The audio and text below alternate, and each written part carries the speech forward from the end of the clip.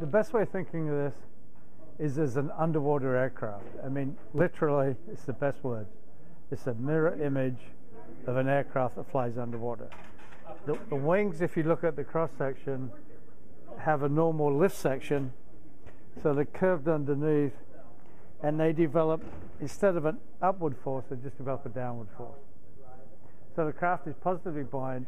On the surface, the cockpits are sticking out, and you just go and fly. Barrel rolls with the whales, standard on his tail, standard on his nose.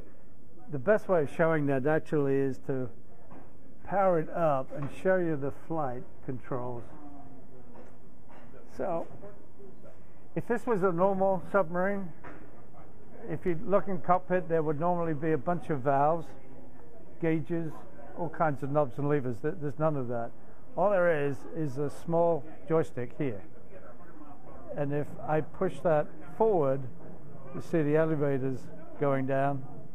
So right now, this thing will be coming up into a climb. If I left it the way it is right now, it will go straight up and now it would be on its back. You'd be upside down. Um, roll, the ailerons are rolling.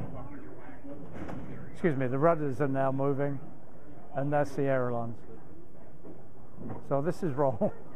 So if I if I move the stick to the right, excuse me, to the left, the left wing is going to go down. This is going to roll about the speed of my hand, and it will just keep going. So that's why the heads-up instrumentation there provides 360 feedback for pitch and roll. It's fully hydrobatic. It's actually the fourth generation. This particular one is mine. It's beautifully sorted out. it's just exquisite to fly underwater with animals. I mean, just think about that. Flying alongside a whale. When that whale decides to peel off and go straight down, instead of waving it goodbye as you do in a normal submersible, well, in a normal submersible, you're not, you're not even near a whale. But as it goes down, we can just go down with it. And um, there's only two in the world, and it's a lot of fun.